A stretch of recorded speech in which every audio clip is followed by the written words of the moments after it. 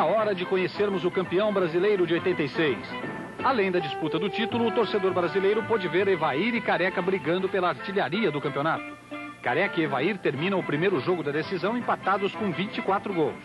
Saiu o cruzamento para Evair, atenção! Gol do Guarani! Gol do Guarani, Evair! O artilheiro Evair, aos 15 minutos do segundo tempo. A jogada pela direita, o Marco Antônio acionou o Chiquinho. Ele cruzou na cabeça, na metida, para o Evair subir sozinho, tranquilo.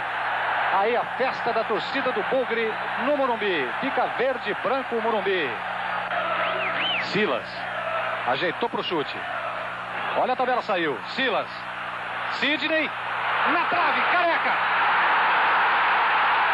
Gol de careca. Está empatado o jogo no Morumbi. 18 minutos, 3 minutos após a marcação do gol do Guarani. Empata o São Paulo, fica tudo igual de novo. É a festa dos artilheiros do Brasil. Evair do lado do Guarani e Careca do lado do São Paulo.